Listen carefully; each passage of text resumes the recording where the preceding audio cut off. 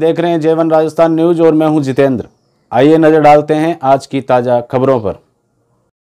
खबर नागौर ज़िले के नावा सिटी से है, जहाँ वैक्सीनेशन महाअभियान को लेकर नागौर जिला कलेक्टर डॉक्टर जितेंद्र सोनी ने शनिवार को ज़िले में विधिवत रूप से निरीक्षण किया।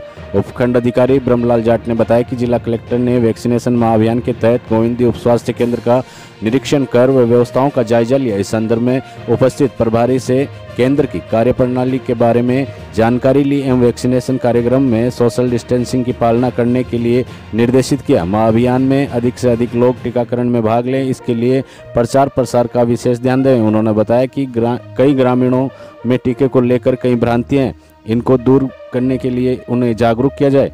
इसके अलावा ग्रामीणों को राज्य सरकार की जन कल्याणकारी योजनाओं के बारे में नियमित रूप से अवगत कराने के संबंध में पूछा गया। सोनी ने सभी ग्रामवासियों से ग्राम की समस्याओं के बारे में भी जानकारी ली। इसी कड़ी में सोनी ने खारडिया के राजकीय आयुर्वेदिक औषधालय का भी निरीक्षण किया, जिसके प्रभारी डॉक्टर अनिता सैनी से मरीजों की संख्या के बारे में एवं दवाइयों के स्टॉक के बारे में विस्तार से जानकारी ली। जिला कलेक्टर डॉक्टर जितेंद्र सोनी ने शनिवार को वैक्सीनेशन महाअभियान के तहत राजकीय उच्च माध्यमिक विद्यालय गोविंदी का भी निरीक्षण किया, जिसमें वरिष्ठ अध्यापिका सुमन यादव के द्वारा पूरी स्कूल की दीवारों पर वॉल पेंटिंग बनाकर सुंदर व आकर्षण बनाने पर जिला कलेक्टर ने प्रसन्नता ज़ाहिर की।